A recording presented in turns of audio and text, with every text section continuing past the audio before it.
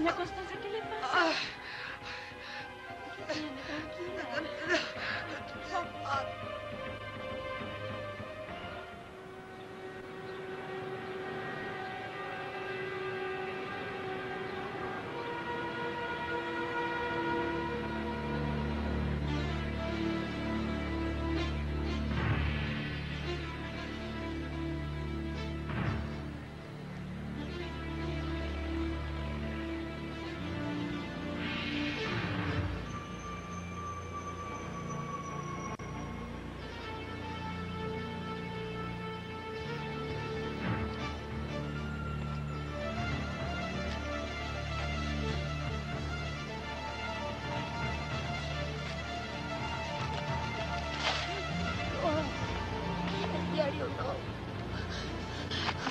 Por favor, sácame de aquí.